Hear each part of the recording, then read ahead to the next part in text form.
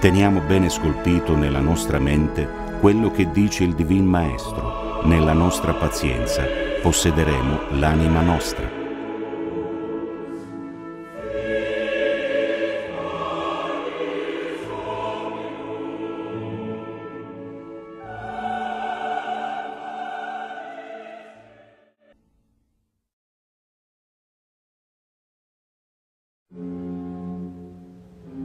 Pace e bene, cari fratelli e sorelle.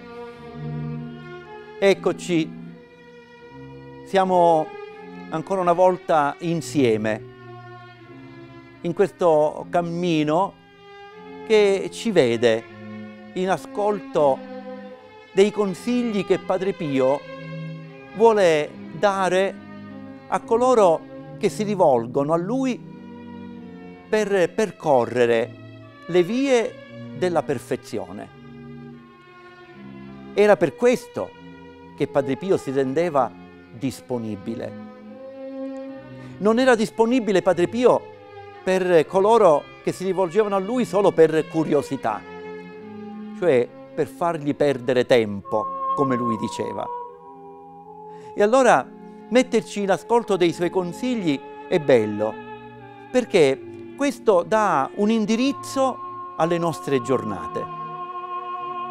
Metterci in ascolto del Vangelo, metterci in ascolto quindi di Gesù che ci parla ogni giorno, come ci suggerisce Papa Francesco, e metterci in ascolto di Padre Pio, che viene con i suoi consigli a riscaldare il nostro cuore, ad incoraggiarci nei momenti di difficoltà e per noi motivo di forza nuova per poter andare sempre avanti senza fermarci e senza indietreggiare.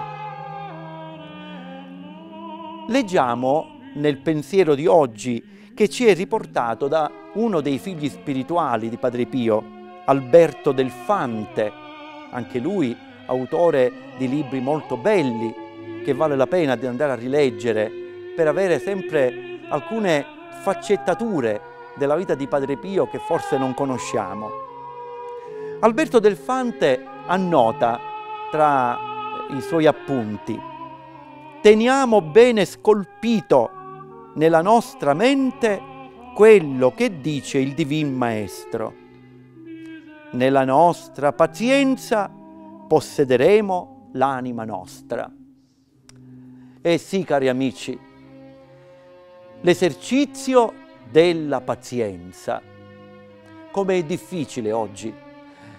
Certo, ci sono tanti centri benessere, ci sono tante palestre per fare esercizi, per robustire i nostri muscoli, per darci un fisico più presentabile e, e così via discorrendo. Però noi, cristiani, seguaci di Gesù, figli spirituali di Padre Pio, abbiamo bisogno di un'altra palestra. Abbiamo bisogno della palestra dove poter esercitare le nostre virtù. E tra queste virtù oggi Padre Pio ci invita ad esercitarci nella pazienza, perché ci fa ascoltare quello che dice Gesù.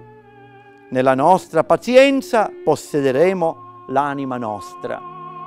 E allora ciascuno è invitato ad esercitarsi.